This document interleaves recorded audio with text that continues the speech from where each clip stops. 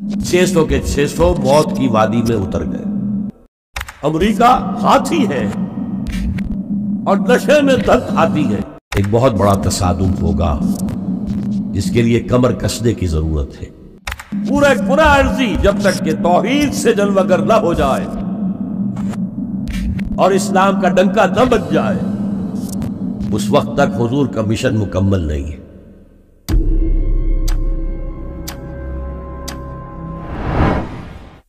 चार दफ़ा आया है सूरह कमर में। हमने कुरान को नसीहत अखज करने के लिए बहुत आसान कर दिया है। तो है कोई जो नसीहत का तालिब हो? दावत हो, तस्कीर हो फजक्र बिल कुरान में यकाफ वही। पहला काम हुजूर का यह था, कुरान के ज़रिए से लोगों को अल्लाह की तरफ़ बुलाना। तो कुरान के ज़रिए तस्कीर, कुरान के ज़रिए नसीहत। या मिन रब्बिकुम व शिफाउन लिमा फ़ी सुदूर। यही है मुआवजा नसीहत, और यही है शिफाउन फ़ी सुदूर। दिलों में जो रोग है, उनका इलाज ये व हुदम व तो हुजूर का तरीका पहला क्या था? कुरान को आम करो। जहाँ आप गए, कुरान सुनाया। आपके कोई खुदबात हमें नहीं मिलते। तो तबलीग, तालीम तस्कीर इंजार तबशीर सब कुरान के हो। पहला काम हेलो तो जो आ गए, ईमान को कबूल कर लिया। अब उनको जमा करो मुनजम करो। ऑर्गेनाइजेशन, इसलिए कि निज़ाम को बदलना आसान काम नहीं तो निज़ाम को बदलने के लिए तो जानों का फिर हदिया देना पड़ेगा। लिहाजा मुनजम जमात बनाओ, मौब न हो। हजूम न हो। मुनजम जमात अगर कैसी सर्वताज नुबे, जो आर्मी का जो असूल है, अगर फौज में कोई शख्स जिसे हुक्म दे रहा हो, सुपीरियर उसका, वो पूछे, जनाब, ये हुक्म मुझे क्यों दे रहे हैं, क्या मसला है, पहले समझाइए, फिर मैं अमल करूँगा। तो क्या वो फौज कहलाएगी? बड़ी प्यारी नज़र थी, मैट्रिक के जमाने में पढ़ी थी अंग्रेज़ी की। कि किसी जंग में 600 सवारों का एक दस्ता था। और उनको हुक्म दे दिया गया, चार्ज, आगे बढ़ो, हमला करो। और उन्हें मालूम था कि दाहिने हाथ भी तोपे लगी हुई है, बाएँ हाथ भी तोपे है, सामने भी तोपे है। आग उगल रही। Canals to left of them canals to right of them canals in front of them volleyed and thundered लिहाजा सबने यह समझा समवन हैज़ ब्लंडर किसी ने बड़ी गलती की है यह हुक्म देकर। जो कमांडर है, बड़ी सता हुई। लेकिन there is not to reason भाई ये भाई का सवाल करने का तो उनका मकाम नहीं there is but to do and die जो हुक्म मिला करो, मरते हो तो मरो। Therefore into valley of death rode the six hundred छह सौ के छह सौ मौत की वादी में उतर गए। तो जब तक ऐसी जमात नहीं होगी, निज़ाम नहीं बदला जा सकता। यही काम हजूर ने किया। ईमान की दावत दी और ईमान दिलों में रासिक हो गया, उन्हें मुनजम किया। हदीस में आता है, और ये मिशकात शरीफ में भी हदीस है। मुस्द अहमद इबन हम्बल के हवाले से और जाम तिरमजी के हवाले से। हजूर हारिस अशरी रज़ी अल्लाह रावी है। इंदी आप और हुक्म मुसलमानों में तुम्हें पाँच बातों का हुक्म दे रहा हूँ। अल्लाह अमर अनी बेहिन्ना, एक रिवायत में ये इजाफी अल्फाज है। अल्लाह ने मुझे हुक्म दिया है। अपनी तरफ़ से नहीं दे रहा। हालाँकि हुजूर को इख्तियार था, आप अपनी तरफ़ से भी हुक्म दे सकते वो पाँच बातें क्या है? बिल जमात व समय व ताते, वल हिजरत, वल जिहाद फ़ी सबीलिल्लाह किसको नहीं मालूम पाँच अरकान इस्लाम? और किसने फरमाया ये हुजूर? ने इस्लाम की ताबीर पाँच बुनियादों पर है। यह हदीस हमें याद है। और जिसके कह रहे मैं हुक्म देता हूँ तुम्हें और अल्लाह ने मुझे हुक्म दिया है। ये पाँच बातें हमारे जहन से निकल गई। इसलिए कि हमारे जहन में इस्लाम का तस्वुर मज़हब का है, दीन का है ही नहीं।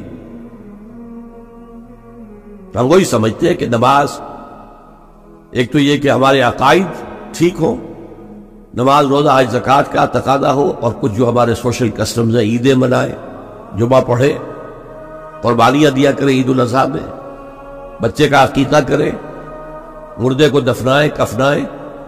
शादी हो तो ईजाब कबूल कराए। फेरे नहीं डलवाएँगे। भाई, ये हमारा दीन है, हमारा मज़हब है। मज़हब दीन नहीं है ये। दीन का तस्वुर ही नहीं। हम इतने खूगर हो गए महकूमियत के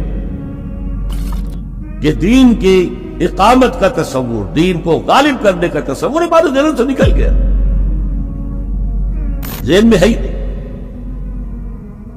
उलमा को भी अजनबी सी बात लगती है, ये क्या बात कह रहे हैं? ये तो अजनबी सी बात है। इसलिए कि हमारे जहनों से तस्वुर निकल गया। पहले मुसलमान बादशाह थे, उसके बाद आ गए अंग्रेज़। अंग्रेज़ ने कहा, कानून हमारा होगा। क्रिमिनल लॉ हमारा होगा। सीआरपीसी हमारी होगी। सिविल लॉ हमारा होगा। निज़ाम हमारा होगा। हाँ नमाज़ पढ़ सकते हो, रोजा रख सकते हो। हमें कोई तुमसे, तुम्हारे मज़हब से कोई दुश्मनी नहीं। बल्कि अंग्रेज़ ने तो बड़ी रियायत की थी। उसने कहा था, तुम अपने फैमिली लॉज भी अपनी मर्ज़ी से, जैसे चाहो तय करो। आज मुसलमान ममालिक में से भी अक्सर ने अपने फैमिली लॉज छोड़कर यूरोप के फैमिली लॉज इख्तियार कर लिए। और पहली मरतबा यह काम किया था तुर्क ने और यूरोप के अखबार ने फिर तंजिया लिखा था कि अजीब कौम कहती है कि बेहतरीन कानून हमारे पास है और हाल यह है कि फैमिली लॉज भी हमसे मांग रहे हैं।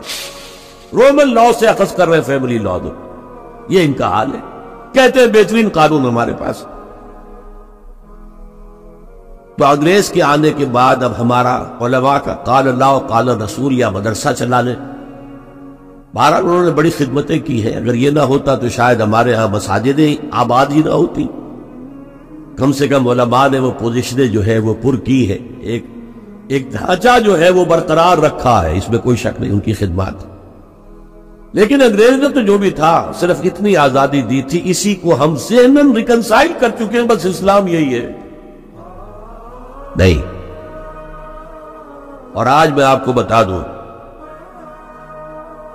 अमेरिका और इंग्लैंड खास तौर पर, और बकिया ईसाई मुमलकतें भी बिलूम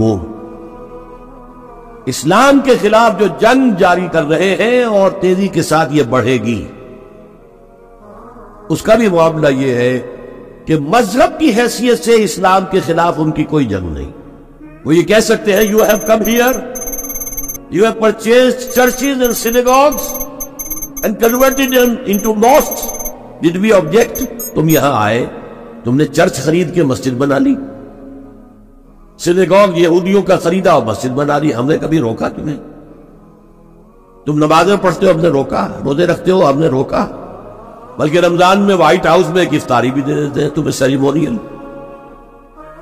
तुम्हारी ईद है, बकरा ईद है, हमको मोबिलिटी स्टैंप जारी कर देते हैं, ये ईद का जो है डाक का टिकट है और ये बकरा ईद का है। तो मज़हब से तो हमें कोई इतराज लेकिन इस्लाम का सियासी माशी और समाजी निज़ाम nothing doing we will not bear it निज़ाम हमारा होगा। और समझ लीजिए यह तारीख ने पूरा सर्कल एक घेरा पूरा कर लिया निज़ाम हमारा होगा।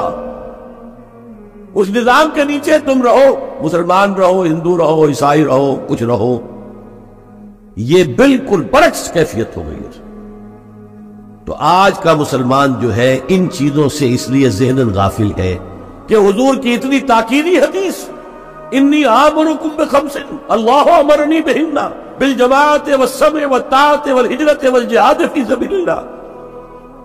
कभी बिंबर से न सुनाई गई, न कभी सुनी गई इसलिए कि ये उस अमल का नाम है जो दीन को कायम करने के लिए होगा। अब आप सोचिए, कोई शख्स सूद के अंदर बराह रास्त मुलविस नहीं है वो। नमाज़ पढ़ता है, रोजा रखता है। लेकिन यह इत्तेबा नहीं कर रहा जो हुजूर ने जो काम किया था, कि गलत निज़ाम, तागूती निज़ाम को जड़ से उखाड़ कर फेंका जाए और अल्लाह का दिया हुआ दीन कायम किया जाए। तो इत्तेबा में क्या हिस्सा है इसका कोई नहीं। हुजूर ने वही के आगाज़ के बाद कोई कारोबार किया? आप पहले बहुत अच्छे ताजिर थे, बहुत कामयाब ताजिर थे। उस वक्त का एक्सपोर्ट इंपोर्ट काफिला लेकर जा रहे हैं शाम, काफला वापस लेकर आ रहे हैं। लेकिन जैसे ही वही आ गई, या मुद्दसिर कुम फानजिर वरब वकबिन लिहाज में लिपट कर लेटने वाले अब खड़े हो जाओ। कमर कस लो। गन अप योर लॉयंस अपने मिशन का आगाज़ करो। उसका आगाज़ क्या है? इंसार खबरदार करो इन्हें कि ज़िंदगी यही ज़िंदगी नहीं है। असल ज़िंदगी आखिरत की ज़िंदगी है। और कयामत के दिन तुम्हें हिसाब जो है अपना पेश करना होगा। जवाबदेही करनी होगी। You will have to face the ground accountability of the day of judgement ये इंजार से बात शुरू करो वरब्बा का फकबिर और जो हदफ है, मकसूद क्या, अल्लाह को बड़ा करो। यानी उसकी बड़ाई, नाफिस। पार्लियामेंट में भी उसका हर्फ आखिरी हो। ले तकून कलेमतुल्लाह ताकि अल्लाह का कलमा सबसे ऊँचा हो जाए। जो इतात थोड़ी बहुत हम कर रहे हैं, वो भी जुजवी है। कुल्ली नहीं है। इसीलिए दुनिया की रसवाई वो तो हमारे माथे पर लिखी हुई। जुरबत अलहमजिल्लत वल मस्करत वबाऊ बेगरब मिन अल्लाह आज हमारा हाल ये ये वक्त फुर्सत है कहा काम अभी बाकी है। नूर तोहीद का इतमाम अभी बाकी। पूरे पूरा अर्जी जब तक के तोहीद से जलवगर न हो जाए और इस्लाम का डंका न बच जाए, उस वक्त तक हुजूर का मिशन मुकम्मल नहीं है। हुजूर हवाले करके गए थे उम्मत। खुतब हजतुलविदा में, आपने सवाल किया, अला अल बल्लग तो और सवा लाख के मजमू ने जवाब दिया, इन्ना नशद बल्लग तर रिसालता वादैत अमानता बनसातल उम्मता बकशफ्त उम्मत। हुजूर, अब गवाह है। आपने हक रिसालत अदा कर दिया, हक अमानत अदा कर। मुसलमानों की खैर खाई का हक अदा कर दिया, उम्मत की खैर का। और गुमराही के पर्दे चाक कर। तीन दफ़ा हुजूर ने सवाल किया, तीन दफ़ा जवाब देकर फिर आसमान की तरफ़ निगाह उठाई और अंगुश्त शहादत से इशारा किया और फिर लोगों की तरफ़ अल्लाह शद अल्लाह शद अल्लाह शद अल्लाह, तू भी गवा रहे। ये मान रहे हैं कि मैंने पहुँचा दिया। और फिर क्या कहा? फल युबल अब जो यहाँ मौजूद है, उनका फ़र्ज़ है कि उनको पहुँचाए, जो यहाँ नहीं है। और ये अबदुल आबाद तक के लिए, क्यामत तक के लिए। अन मुरसलीन व तुम आखिरुल उमम। मैं आखिरी रसूल हूँ, तुम आखिरी उम्मत हो। और तुम्हें निकाला गया दुनिया वालों के लिए। दुनिया की दूसरी कौमें अपने लिए जीती हैं, अपनी अजमत, अपना बोलबाला, अपने मफादात, अपनी मसलाहतें। और तुम्हें दुनिया वालों के लिए जीना है। हम तो जीते हैं कि दुनिया में तेरा नाम रहे। कहीं मुमकिन है कि साकी ना रहे, जाम रहे, ये जाम हिदायत कौन गर्दिश में लाएगा अगर साकी ना हो? साकी उम्मत मुस्लिम है ये दूसरी बात है कि उम्मत भूल गई। खुद ही नहीं पढ़ा पढ़ाएँगे क्या? खुद ही नहीं समझा, समझाएँगे क्या? बहरहाल वक्त फुर्सत है, कहाँ काम अभी बाकी है और इसकी सही हदीसें मौजूद है कि दुनिया में दोबारा निज़ाम खिलाफत अला बिन हाजिर नबुआ आएगा। और अब जब आएगा ग्लोबल होगा। ये एक बहुत बड़ा तसादुम आने वाला है, जिसे कि बाइबल के बांधने वाले कहते हैं आर्मगेडोन बहुत बड़ी जंग। अगर आप कहीं डिक्शनरी में जाकर देखेंगे आर्मगेडोन के मानी तो लिखा होगा a very big war which will be for between the forces of evil and good before the end of this world और हुजूर की अहादीस में अलमरहबतुलबा अजीम तरीन जंग। अलमरहबतुल कुबरा, सबसे बड़ी जंग। और उसमें या तो एक तरफ़ होगा, न्यू वर्ल्ड ऑर्डर, वो चाहता है ग्लोबल हो जाना। और ये हकीकत में ज्यू वर्ल्ड ऑर्डर है। ईसाई दुनिया इस वक्त यहूदियों के पंजे में, शिकंजे में है। आपको मालूम है जो रिएक्शन हुआ है बाद में? जो कुछ हिटलर ने किया यहूदियों के साथ, कहते साठ लाख हमारे मारे हैं। क्यों? कि उन्हें एहसास हो गया था, इन्होंने अपने शिकंजे में हमें कस लिया है। लिहाजा उसने इंतकाम लिया। बहरहाल, अब जो भी टकराव होने वाला वो दो निजामों का होगा, जिसे हंटिंगटन ने कहा है क्लैश ऑफ़ सिविलाइजेशन तहजीबों का तसादुम आएगा, और उसमें दूसरी तहजीब हमारी या हमारा निज़ाम इस वक्त दुनिया में कहीं नहीं है। लेकिन दुश्मन को मालूम है, इबलीस की मजलिस शुरा में अलामा इकबाल ने इबलीस के तर्जुमानी कहते हुए, करते हुए कहा है है अगर कोई खतर मुझको तो इस उम्मत से।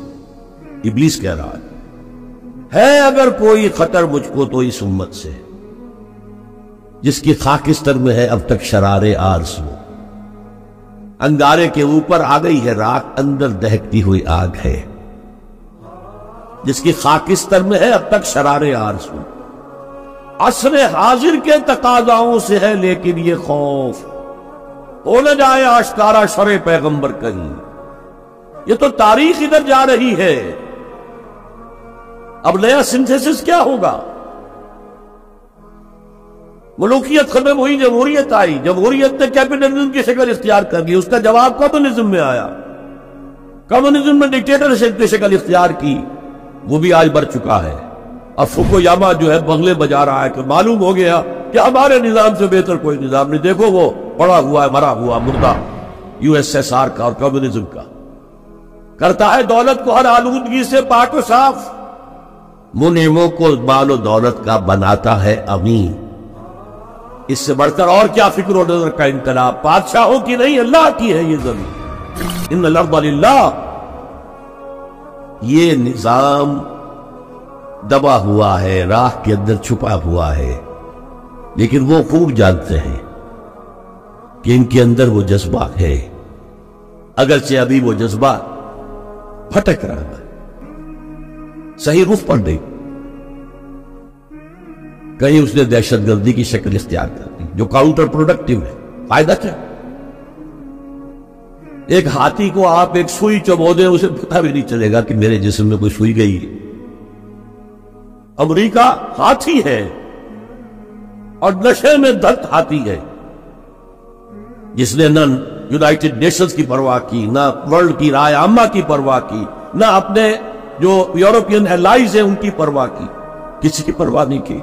We shall go it alone जिसे जहाँ आना हो, आ जाए, वरना नहीं। नशे में धुत है। लेकिन जब यूएसएसआर का खात्मा हुआ, और उधर जो है नेटो को असर मुनजम करने लगे। एक्सपेंशन हो रही है। तो किसी ने पूछा उस वक्त के नेटो चीफ से कि अब आपका जो दुश्मन था, वो तो खत्म हो गया। वो तो तुम्हारे कदमों में पड़ा हुआ है, तुम्हारे कर्जे लेकर तो बमुश्किल वो रोटी खा रहा। तो क्या ज़रूरत है अब नेटो की और ये सारा उनका हमें मुस्लिम फंडामेंटलिज्म से खदशा है, डर है। ये सारी तैयारी उसके लिए हो गई? एक बहुत बड़ा तसादुम होगा। इसके लिए कमर कसने की ज़रूरत है। लेकिन उसमें यह है कि कमज़ोरी हमारी है, हम मेथोडोलॉजी ऑफ़ द प्रॉफिट सल्लल्लाहु अलैहि वसल्लम को नहीं समझ पा रहे। ये काम एक दफ़ा होना है दोबारा। होगा उसी तरीके से जिस तरीके से हुजूर ने बर्पा किया। आप जमाने से बोरो करके कम्युनिस्टों से उनका तरीकेकार मांगकर या ये इंतजाबात के ज़रिए इस्लाम नहीं आ सकता। वो आएगा through the revolutionary process to be derive from the सीरा ऑफ़ मोहम्मद सल्लल्लाहु अलैहि वसल्लम बहरहाल उसके लिए कमर कसें, इत्तेबाई रसूल जो है। दिल में इरादा तो अभी से है कि हमें करना है। अल्लाह ताला हमें इसकी तोफ़ी अता फरमाए। अल्लाह ताला हमें उसके लिए अपना आज़म मुसम्म करने की तोफ़ी अता फरमाए। अकूल कौली हाजा वस्तफ़रल्ला वलकुम वलसाइल मुस्लिमीन वल मुस्लिमात।